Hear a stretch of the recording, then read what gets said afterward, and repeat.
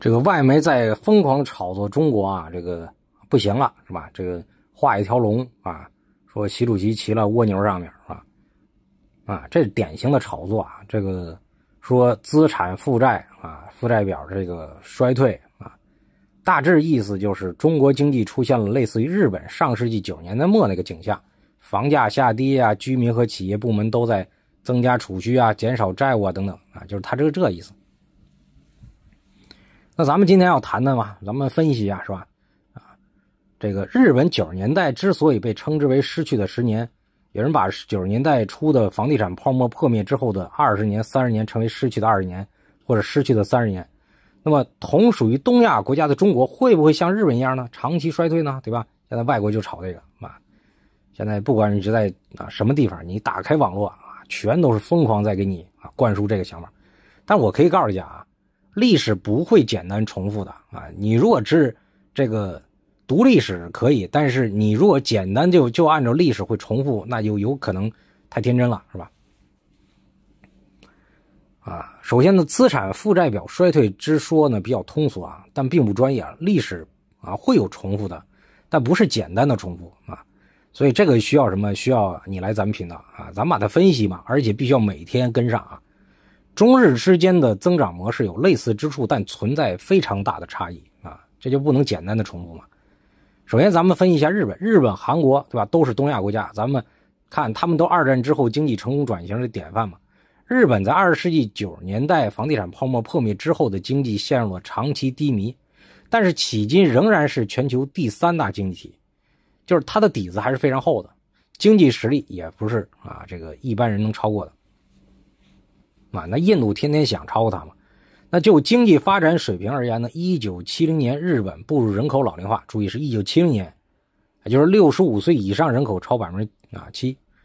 这个时候呢，人均 GP 是两万啊，是两千零五十六美元啊，按照现在的价格折算了啊，七零年就老龄化了，当时人均 GDP 是两千零五十六美元啊。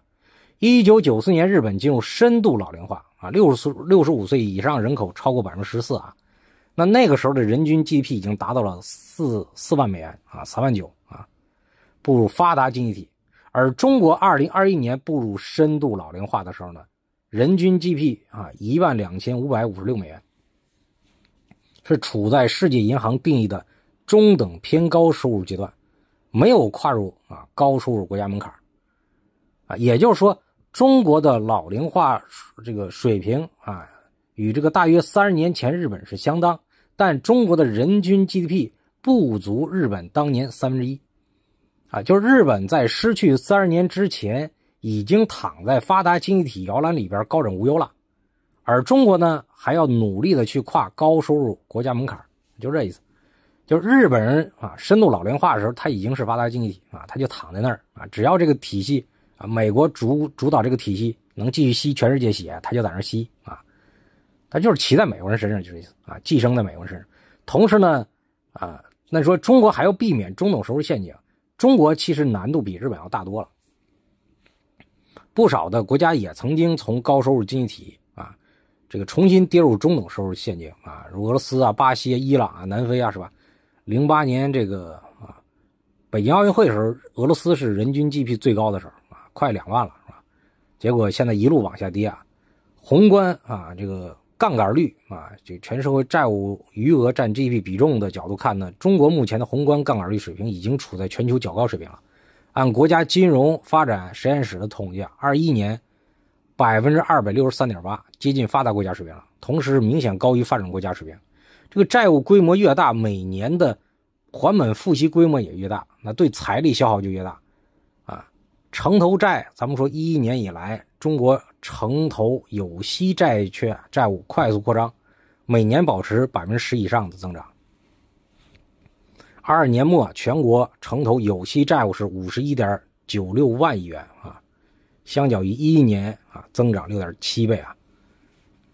那中国是步入了老龄化加速阶段啊，就是第二次婴儿潮，就六二年到七四年出生人口步入老龄化。那中国老龄人口标准六十岁以上，国际标准是六十五岁以上，啊退休。那么二二年我国六十五岁以上人口占比已经达到百分之十四点九，深度老龄化提速。相比德国老龄人口占比在1972年达到百分之十四，三十六年以后，零八年才突破百分之二十，进入超老龄化阶段。那法国是从深度老龄化到超老龄化社会经历二十四年，日本是深度老龄化那过渡到超老龄化，九四年到零六年用了十二年。中国的老龄化进程或许要更快啊！按照当前的出生率、死亡率水平估算，可能在三零年以后，可能就过渡到超老龄化了。三零年，啊，听这三零年很像什么？咱们五统的时间点和这个啊，咱们中国啊 GDP 是吧？超越美国的时间点，就那个十年嘛啊。那老龄化加速，同时呢，中国的城镇化啊就放缓了，对吧？二二年，北京、上海、深圳一线啊出现人口负增长。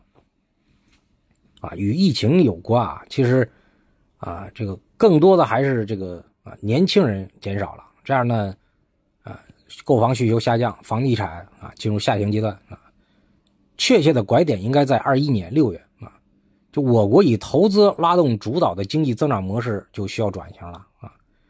那综合上述数据看呢，中国经济确实存在未富先老现象啊，这就是总结一个未富先老。这与中国啊属于后发的发展中国家是有关的。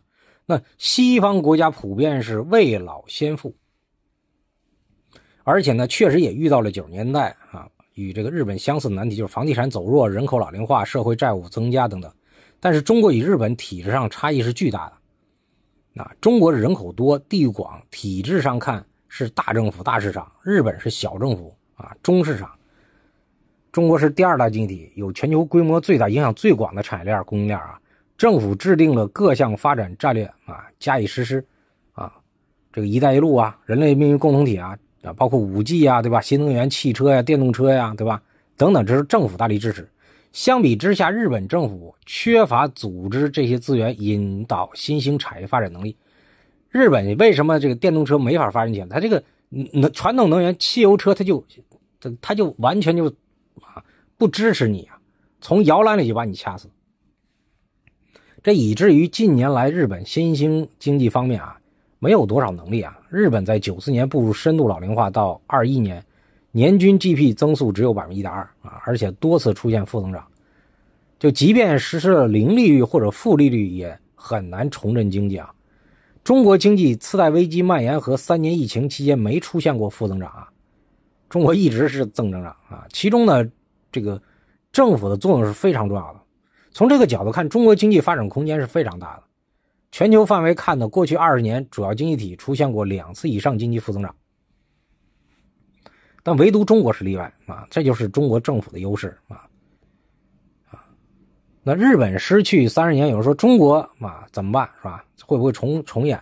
大部分分析日本经济陷入长期停滞的报告呢，都聚焦在日本国内的经济政策，包括什么货币政策、产业政策。多数认为广场协议导致日元大幅升值是日本竞争力的啊削弱的主要因素啊，包括日本制造业工酬啊工人啊薪酬大幅提升。那九十年代之前，尽管日元已经显著升值，但日本的全球出口啊份额依然上升啊。不然不少人也担忧啊，担忧中国制造业。啊，外迁以后会不会中国也是走日本产业工业化啊？啊，现在说印度啊正在，包括越南啊也都在拼命的跟中国竞争。中国制造业增加值在全球份额呢，仍然是以每年一个百分点的速度在提高的啊。所以中国与九十年的日本制造业发展趋势很大不同的。中国目前虽然有啊有围堵啊，前有围堵啊，这个后有追兵，但目前中国 GDP 的体量大约是印度的五点五倍啊。越南的五十倍啊！过去三十年看呢，九二年的欧盟 GDP 占全球百分之三十三点四，美国是百分之二十六，中国只有百分之二。现如今的美国是占全球 GDP 百分之二十四，欧盟只占百分之十七点八啊，那减了一半。中国已经飙到百分之十八点五了啊，就中国已经超过欧盟了。就过去三十年也体现出明显的此消彼长的关系，就是中国如今已经超过了欧盟，成为全球第二大经济体啊。那么未来十年，中国经济会否重复日本九十年代的那种经济轨迹？实际上就要看中国经济未来十年啊，那个十年非常关键，这个增长率有多高，或者说中国经济与全球经济平均增速到底差多少啊？所以在，失去永远是一个相对的概念。就是日本过去啊失去三十年，并不代表日本经济没有增长，只是它的增速相对于全球平均水平要低啊。但平均增速啊仍然是日本要超过百分之一的。全球的经济史上，这咱们说两千年就是公元啊元年到一八二零年，平均增速只有百分之零点一啊，全球的。人均收入在这一千八百多年的时间里边，只增长大约百分之四十。只是一八二零年以后到啊至今的二百多年里边，工业革命的成果广泛应用，就是劳动生产率大幅提升，啊，年均 GDP 增速达到百分之二点一啊。因此，咱们不能认为过去两千年人类是失去了一千八百年，对吧？那么未来中国经济啊潜在增，那么中国未来十年啊这个。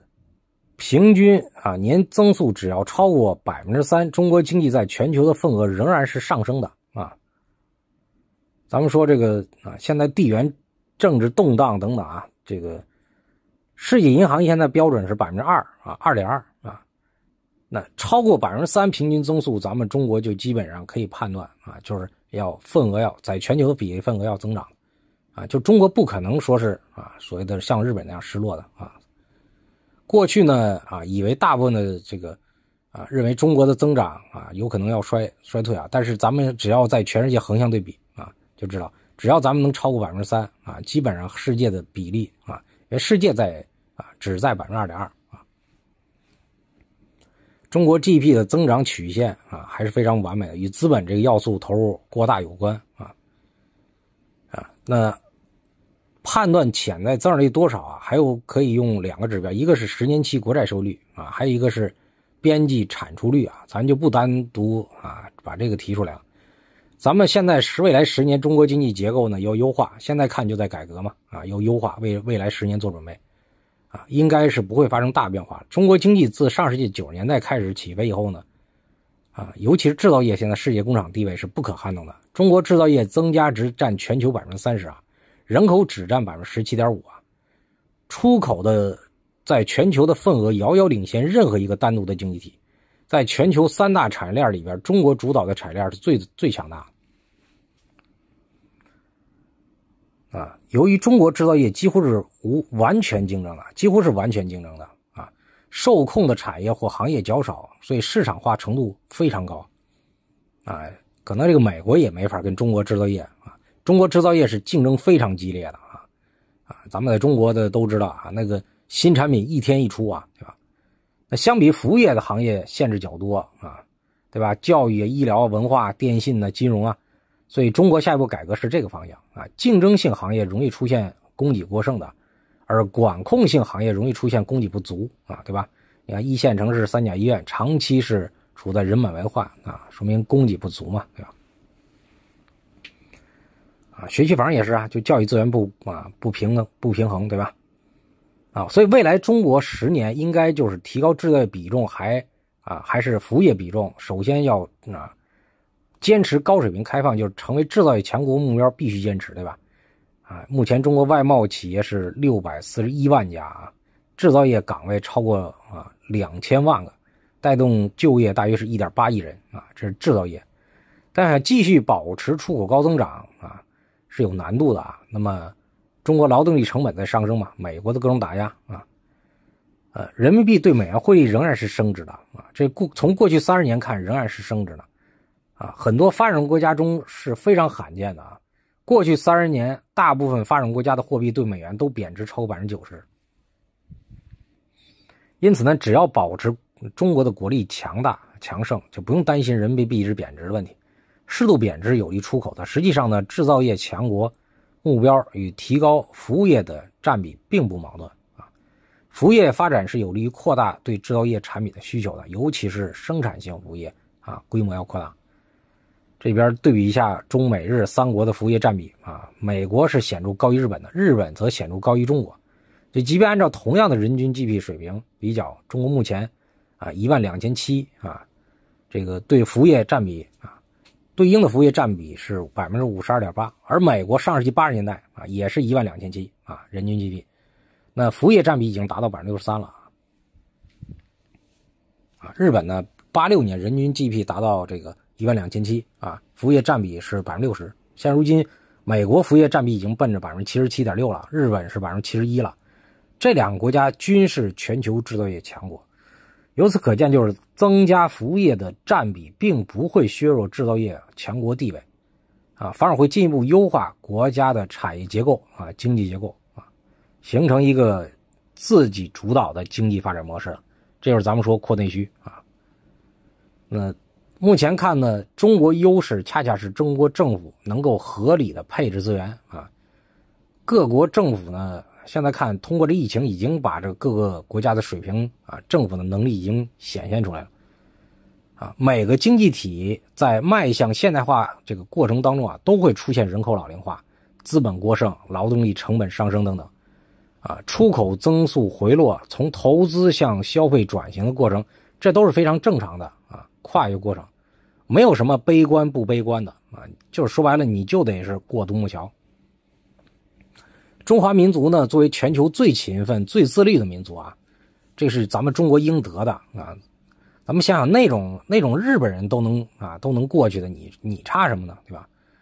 人人均国民收入不会更不应该是止步于现在这个中等、中高收入水平的啊。因为中国人在这个世界上啊，你只要全球走一走，你就知道，确确实实还是非常罕见的。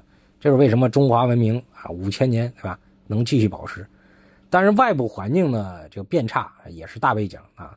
但是在外部环境变差的背景下，今后的路啊，怎么选择才是关键。所以要坚持什么呢？就是双循环啊，新发展格局，就高水平开放，然后呢，大力支持民营经济，坚持经济结构改革啊，把这个经济恢复。主要还。